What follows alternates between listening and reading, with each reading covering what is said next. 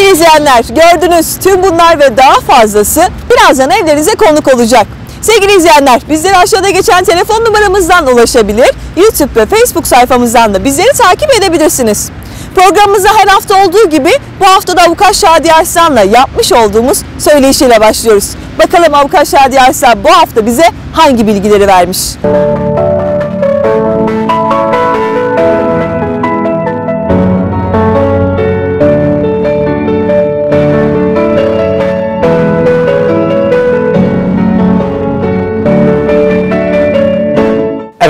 merhaba. Bu hafta yine her hafta olduğu gibi deneyimli avukatımız Avukat Şadiye Arslan hanımefendiye Londra Mahallesi ekibi olarak konuk olduk.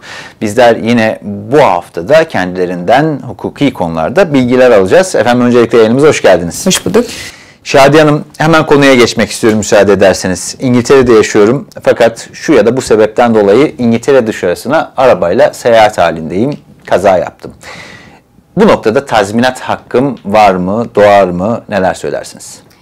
Şimdi eğer ülke dışında e, kaza yapmışsınız, e, trafik kazası da dahil, e, kazanın şartlarına ve kazayı kiminle yaptığınıza bağlı olarak bu ülkede dava açıp açmayacağınız e, sorusu ortaya çıkıyor.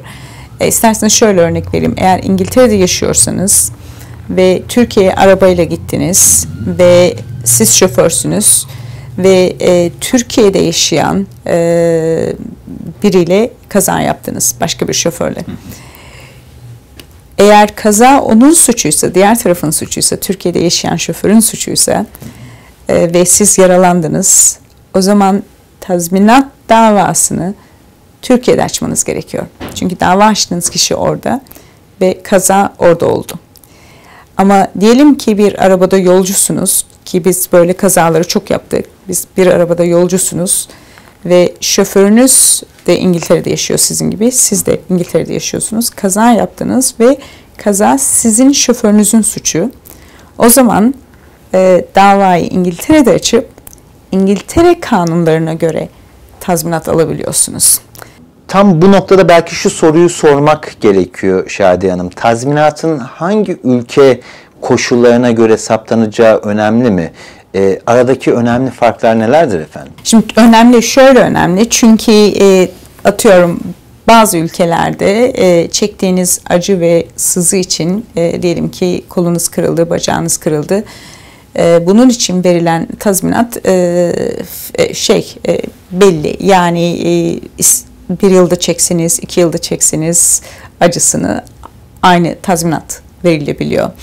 E, maalesef ki e, bu tabii ki müvekkilin yararına değil ve ama İngiltere'de İngiltere kurallarına göre yapıldığında tazminat hesaplandığında mesela e, acı ve sızıyı ve rahatsızlığı ne kadar çektiğiniz göz önüne alınabiliyor. Özellikle bu son dönemlerde turizm şirketleri, e, uçak biletleri e, çok pahalı. Haliyle özellikle Türkçe konuşan toplum e, Türkiye ya da bir başka ülke arabalarıyla gidiyor. Evet.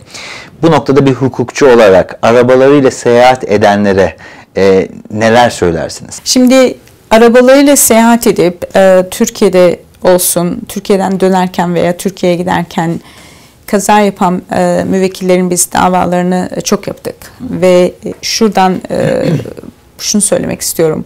Bu kazaların çoğundaki sebep yorgunluk, dikkatsizlik. Anlatabiliyor muyum? Ve insanların hiçbir şey olmaz. Ben bir saat daha kullanırım, beş saat daha kullanırım gibi bir psikolojiden e, geçmelerinin sebebi. O yüzden de buradan bir avukat veya bir insan olarak şunu söylüyorum. Ben çok kötü kazalar gördüm. Kesinlikle ama kesinlikle bırakmayın şoförünüz e, dinlenmeden arabayı kullansın. Yani gerekli olan dinlenmelerin hepsini yapsın. Bu birinci konu. İkinci konu ise gideceğiniz ülkede sigortanızın geçerli olması gerekiyor. Green Card dediğimiz bir kart alınması gerekiyor e, yola çıkılmadan önce sigortadan. Ve bu karta başvurduğunuzda hangi ülkelerden geçeceksiniz Türkiye'ye giderken? E, final yeriniz nedir? Yani Türkiye'yi mi vuruyorsunuz? Giderken hangi ülkelerden geçeceksiniz söylemeniz lazım. Peki e, belki son olarak bu söylediklerinize ilave e, e, olması açısından e, soruyorum. Ülke dışına gidenlere iş için veya turizm maksatlı ülke dışına gidenlere bir hukukçu olarak, bir avukat olarak, Şadi Arslan olarak ne gibi tavsiyelerde bulunursunuz efendim? Şimdi şöyle bir şey var. Ee, mesela benim e, bankadaki hesabımın verdiği e, ekstra şeylerden biri ve çok paranız olması gerekmiyor bankada. E, bedava sigorta, seyahat sigortası. Yani eğer o kartla alırsam e, ne kadar seyahat edersem edeyim başıma bir şey gelirse o sigorta beni kapsıyor. E, böyle sigortası olmayanlara bile ben tavsiye ederim. Mesela e, bazı sigortalar yani istediğiniz kadar seyahat edin. Bazı sigortalar yine 100, 150, 200 pound. E, seyahat sigortasının çıkarılmasını tavsiye ederim.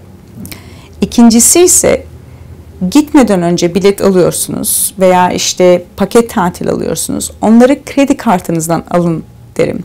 Diyeceksiniz ki Şadiye Hanım ne oluyor? İnsanları borça mı teşvik ediyorsunuz? Hayır değil. Kredi kartıyla alırsanız yani İngiltere'de yaşıyorsunuz ve kredi kartıyla bir şey alırsanız diyelim ki gittiniz atıyorum otel orada değil veya işte 5 yıldız yerine 1 yıldızlı otel. Söylenilenle uygulama aynı şey değil. Ya veya başınıza bir şey geldi şey yapamadınız. O zaman kredi kartına karşı dava açabiliyorsunuz ve kredi kartı şirketleri genelde bunu ödüyor ve diğer e, şirketin peşinden gidiyor. Bu çok kişinin bilmediği bir şey. O yüzden de kredi kartıyla alınıp ondan sonra ödenilirse daha bir avantajlı durumda oluyorsunuz. Yani sigorta çıkarılması, kredi kartı alınması, ve gerekli e, seyahat dokümanlarının olması, mesela green card dediğimiz dokümanların olması, yeterince dinlenilmesi, bir avukat olarak tecrübeme dayanarak e, bunları tavsiye ediyorum. Bir şey daha var, şunu da eklemek istiyorum ki eğer tatil e, rezerve edeceksiniz ve internete girdiniz, oteli ayrı ayarladınız, uçağı ayrı ayarladınız, e, treni ayrı ayarladınız. Bu paket tatiline girmiyor ve diyelim ki böyle ayarladınız Türkiye'ye gittiniz, Fransa'ya gittiniz. Orada bir kaza geçirirseniz İngiltere hukuku altında dava edemiyorsunuz. Anlatabiliyor muyum? Gittiğiniz ülkenin hukuku altında dava etmek zorundasınız ve daha çok komplike oluyor. Paket tatili olarak buradan alır da giderseniz o zaman İngiltere hukuku altında e, dava edebiliyorsunuz başınıza bir kaza geldiğinde. Ama tabii ki sigortanız varsa, yaralama, incinme, sağlık sigortanız varsa bu bambaşka bir durum. Şahide Hanım çok teşekkür ediyorum size. Bu hafta da bize ve haliyle tüm Londra Mahallesi seyircilerine önemli bilgiler verdiniz. Efendim bizler bu hafta yine avukatımız Şadiye Arslan hanımefendiden önemli bilgiler aldık. Haftaya tekrar görüşmek üzere. Şimdilik hoşçakalın.